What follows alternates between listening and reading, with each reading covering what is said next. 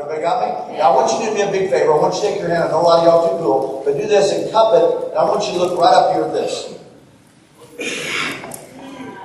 Everybody looking at that? Yeah. Okay, a couple y'all too cool. You're not doing it. Got a guy on the back row that's too cool. Not doing it. Okay? Still not doing it. Too cool. Okay? Now, you know what that means? Okay, now watch this. Take your hands down. Okay? Now, when you were looking at this, what did you not see? But they were still there. Do it again. Look at the screen, okay? Okay? Now, the obstacles distract. They're still there. You just don't see them because you're what? Oh,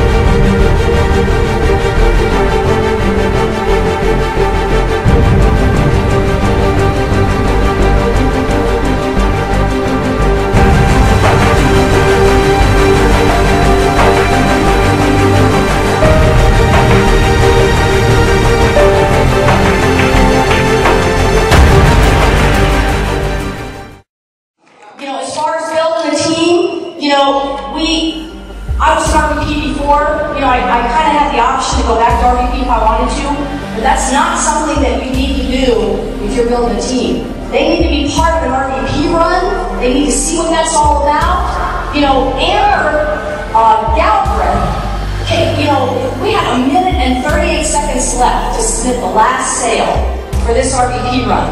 Her house was three inches underwater. So she comes home and she says, Yep, what my daughter said is true. My house is underwater. Okay, how much time do we have to pull this off? A minute 38? Okay, let's do it. So that's the kind of thing running a team is all about.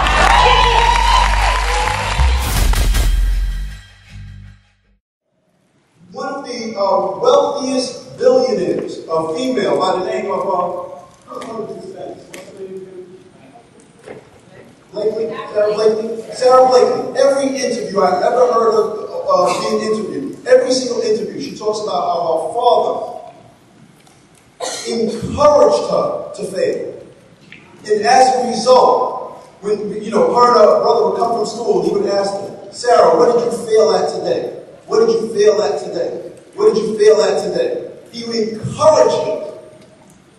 So when she became, when she wanted to become an entrepreneur she needed financing for her business for Spanx, no big deal. She was prospecting, setting appointments, and taking rejection, and she became successful. Ditto. Just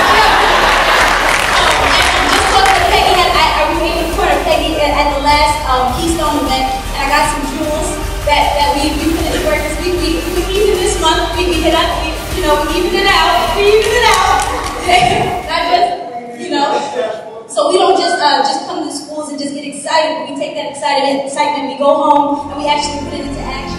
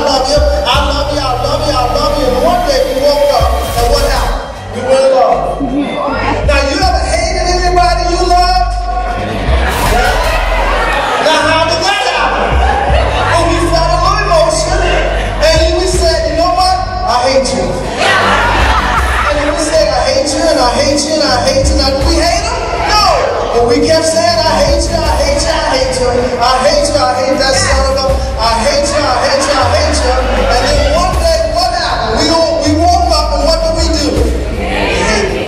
We created that.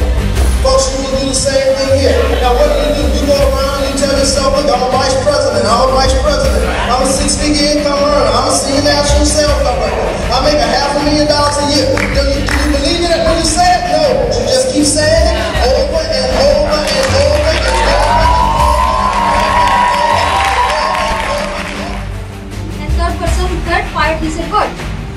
are ready to be changed. No matter what, right? We took a commitment. Hey, we have to do it. If you wanna do something, you gotta go with go for no matter what, right? And then we start coming. We start coming. Satis start coaching us.